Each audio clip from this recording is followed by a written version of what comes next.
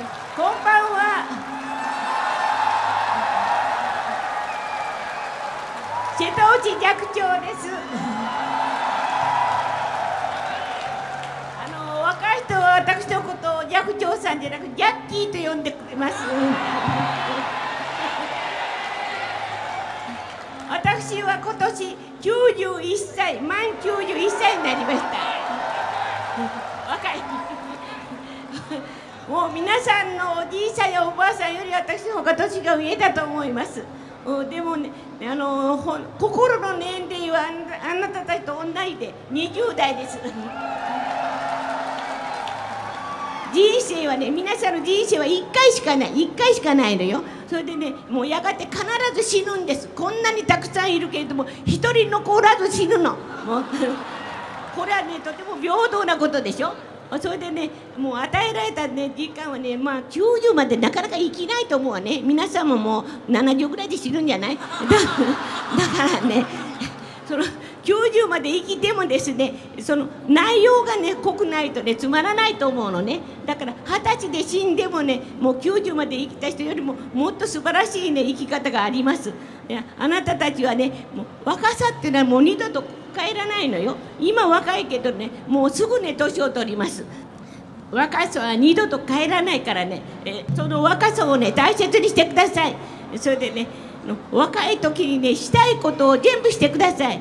でね私の90年生きたね経験によればですねやはりね青春若い時というのはねもうこれはね情熱がいっぱいなのね。皆さんが情熱がいっぱいある。情熱がいっぱいあるってことは、えー、何をすればいいかってで恋と革命です。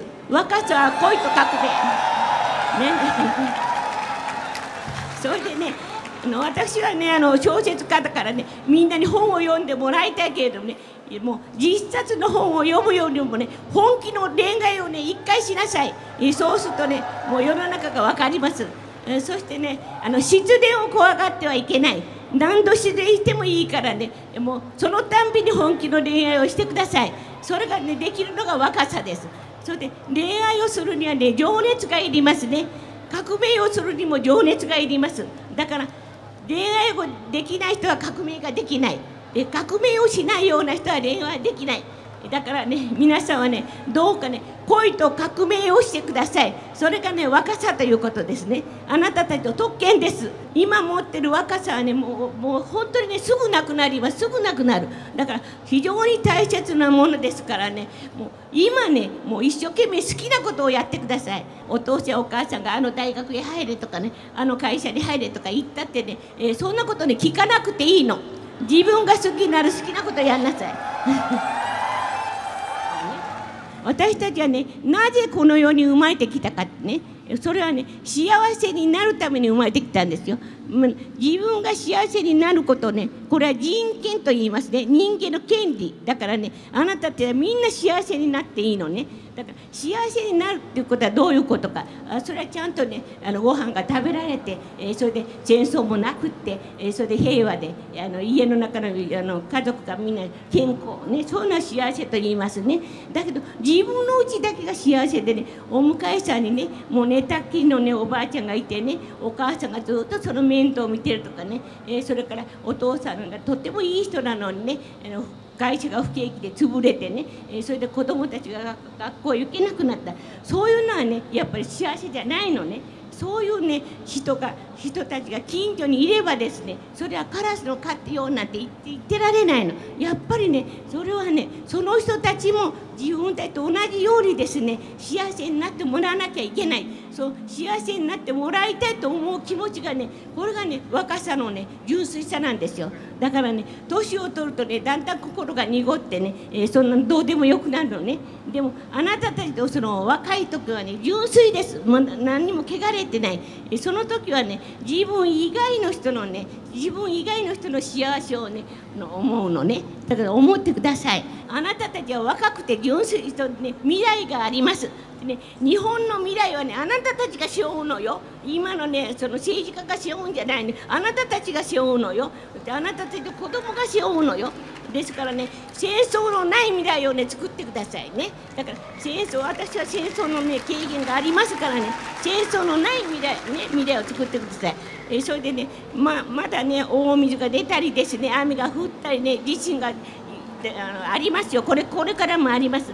これはね天災ってね天が天がねあの持ってくるね災害ですよね。これはずっと昔からあるのね。で人間は偉そうなことを言ってもねこの天災を防ぐ力がまだないんですよね。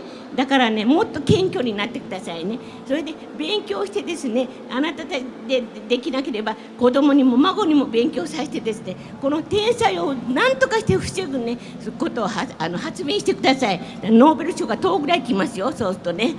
それやってくださいね。えそれとねあの原発がね爆発したなんてことはねこれはね人災人が作った災難ね。だから原発を使わなければいいんですね。使わなければいい。だからそれで作らなければいいね。わかる？だからねそれをねこれは人災だから人災はねあなたたちを考えて防ぐことができますね。だから天災はなかなかね防ぎにくい人災はね今やめればいいの。今やめればいいね。だからもうちっともね人を幸せにしないじゃないですかあんなものねですからそれはねいらないってね言ってください。それからねあの日本人はね大変おとなしくてね例えば災害があった場合ねあの静かに並んでですね、えー、それで配給のものをねもらってるだからあれは大変関心だなってねアメリカとかねヨーロッパでね褒められたのね。私はそれに間違ってると思うの。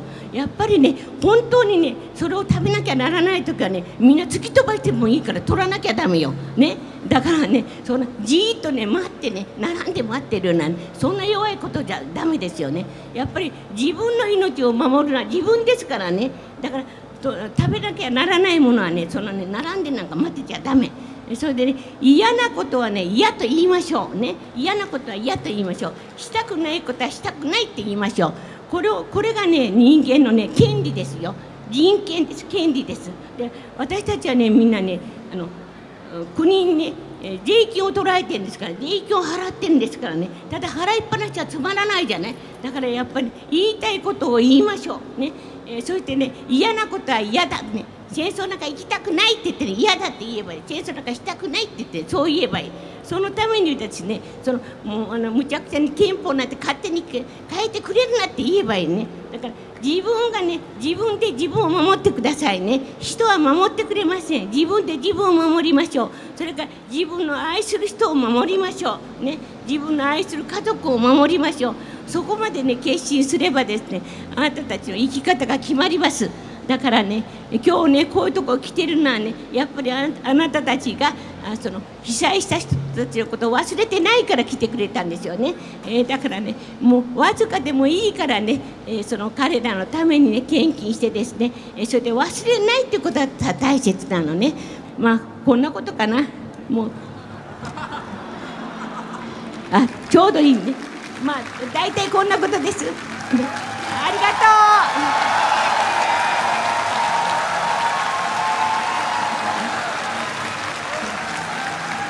ましょうねまた会いましょうね。